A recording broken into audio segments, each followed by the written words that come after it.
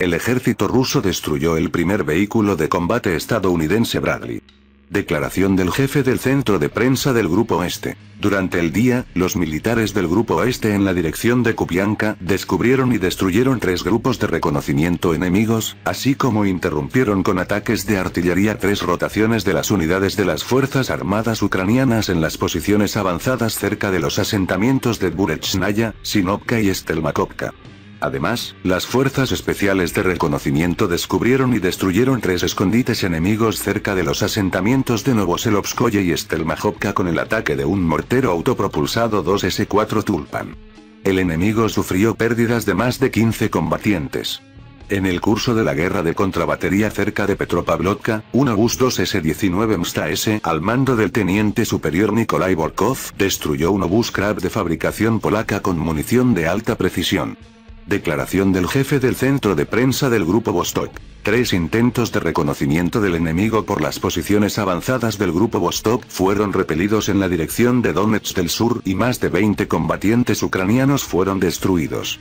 Mientras se realizaba un reconocimiento aéreo con un dron Orlan 30, se detectó un vehículo de combate Bradley en una zona boscosa y se destruyó con munición de alta precisión Krasnopol, y al intentar evacuarlo también se destruyó un vehículo blindado de reparación y recuperación. Los sistemas de misiles Thor, OSA AKM y Estrella 10 derribaron tres drones Furia y dos drones Valkyrie. El sistema de defensa aérea BUT también repelió un ataque de cohetes del lanzacohetes múltiple estadounidense Mars. En la dirección de Zaporizhia, las fuerzas y medios de reconocimiento descubrieron y destruyeron un bastión enemigo cerca de la aldea de Kamenskoye y eliminaron más de 10 soldados enemigos. Los sistemas de misiles Thor derribaron un dron ucraniano Leleka y una munición merodeadora enemiga.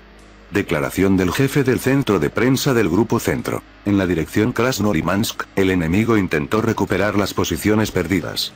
Gracias a un ataque de artillería del Grupo Centro, el ataque fue frustrado y los nacionalistas ucranianos sufrieron grandes pérdidas de efectivos. En el sector de Chervonodibrovsky se produjo un intento de ataque por parte de un pelotón del 15 Regimiento de la Guardia Nacional de Ucrania y la 95 Brigada de Asalto Aerotransportada de las Fuerzas Armadas Ucranianas.